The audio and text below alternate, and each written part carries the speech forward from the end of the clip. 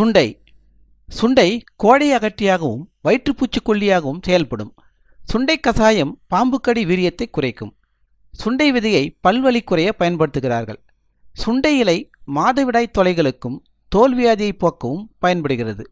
சுண்டைப்பழம் சாப்பிட்டால் வயிற்று வலி போகும்.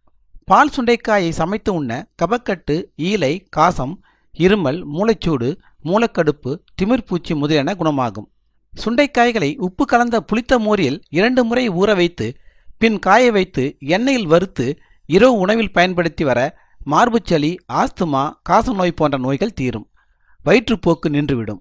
சுண்டை வேர் தும்பை வேர் இழுப்பை பின்னாக்கு சம அளவு எடுத்து இடித்து பொடி செய்து முகர இழுப்பு நோய் தனியும் சுண்டை வற்றல் நெல்லி வற்றல் சுக்கு வெந்தயம் ஓமம் மாதுளை ஓடு மாம்பருப்பு கறிவேம்பு சீரகம் ஆகியவை தனித்தனியாக எடுத்து இளவருப்பாக வறுத்து பொடி செய்து இடித்த சூரணம் காலை மாலை இரண்டு சிட்டிகை ஒரு டம்ளர் மோரில் சாப்பிட்டு வர பேதி மூலம் பசியின்மை மார்புச்சளி நீரிழிவு குணமாகும். சுண்டை வற்றல் கறிவேம்பு மிளகு சீரகம் வெந்தயம் இளவருப்பாய் வறுத்து உப்பு சேர்த்து சூரணித்து உணவில் கலந்து சாப்பிட பசிமந்தம் சுவையின்மை மலக்குடல் கிருமிகள் மூலம் ஆகியவை தீரும்.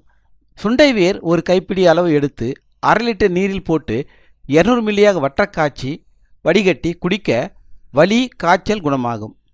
சுண்டை வற்றலை காய வைத்து அதனுடன் புளித்த மோர் மற்றும் உப்பு தேவையான அளவு சேர்த்து உணவுடன் சேர்த்து உண்ண நீரிழிவு நோய் குறையும்.